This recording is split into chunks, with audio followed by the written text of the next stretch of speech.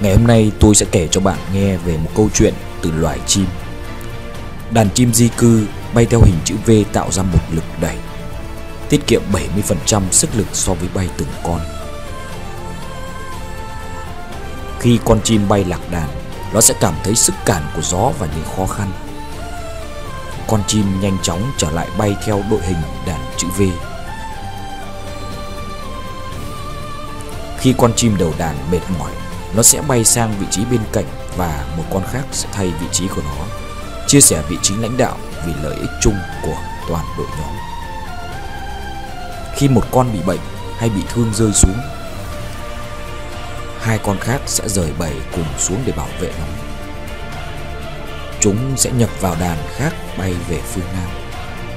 Đã là đồng đội, không bao giờ bỏ mặc thành viên của mình. Sức mạnh của nhóm là từng thành viên. Sức mạnh của mỗi thành viên chính là nhóm. Sự cam kết của mỗi cá nhân trong một nỗ lực nhóm chính là điều tạo lên cách làm việc của một đội ngũ, một công ty, một xã hội và một nền văn minh. Người tài giỏi sẽ chiến thắng trò chơi, nhưng tinh thần đồng đội là trí óc giành chức vô địch. Làm việc nhóm là khả năng làm việc cùng nhau, cùng hướng đến tầm nhìn chung, là khả năng dẫn dắt những thành tích cá nhân vì mục tiêu của tổ chức.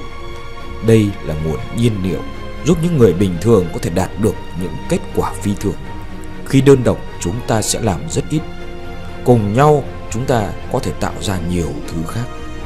Hãy nhớ rằng làm việc nhóm bắt đầu bằng việc xây dựng lòng tin và cách duy nhất để làm điều đó là vượt qua được nhu cầu tự phòng thủ khỏi mọi tổn thương trong mỗi con người chúng ta tôi mời mọi người đến để lựa chọn sự tha thứ, chứ không phải để chia sẻ, làm việc theo nhóm cần vượt qua tham vọng cá nhân.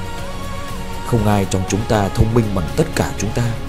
Đến với nhau là sự khởi đầu, giữ được nhau là sự tiến triển, làm việc cùng nhau là sự thành công. Nếu tất cả mọi người cùng nhau tiến về phía trước, thì thành công sẽ tự nó đến.